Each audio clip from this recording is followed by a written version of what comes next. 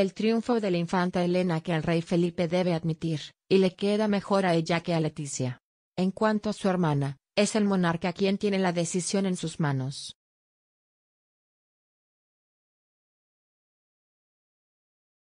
Finalmente, la infanta Elena regresó a la vida institucional después de justamente un año, para presidir un acto que, como sabemos, le hace mucha ilusión y para ella siempre es un gusto oficiar cada año.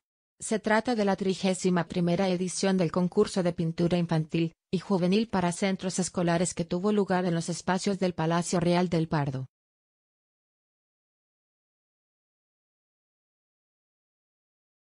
Este encuentro para jóvenes artistas tiene como objetivo vincular a niños y jóvenes con sitios de invaluable valor histórico, como palacios, monumentos, jardines y otros bienes patrimoniales a través de sus expresiones artísticas, según lo señaló en su edición más reciente Chance.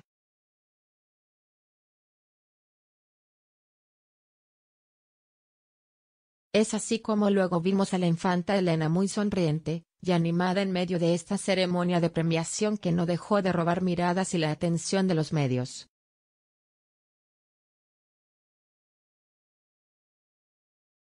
Paradójicamente, es en este evento oficial de Casa Real donde más radiante se aprecia la duquesa de Lugo y es el único que, junto a los más pequeños, estelariza cada año.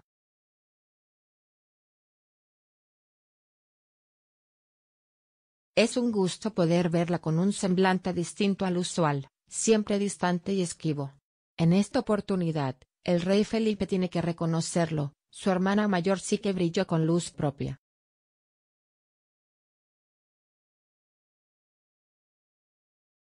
De vuelta al evento, el guiño de la infanta Elena a la entrega de los debidos reconocimientos al talento artístico infantil y juvenil se pudo reconocer en su estilismo.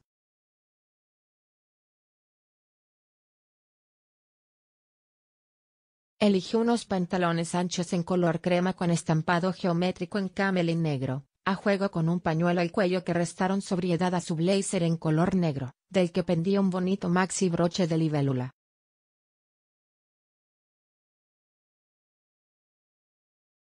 En términos de comodidad, opción que la infanta Elena siempre prefiere, escogió unas sandalias de cuña que iban en perfecta armonía con el resto de la propuesta.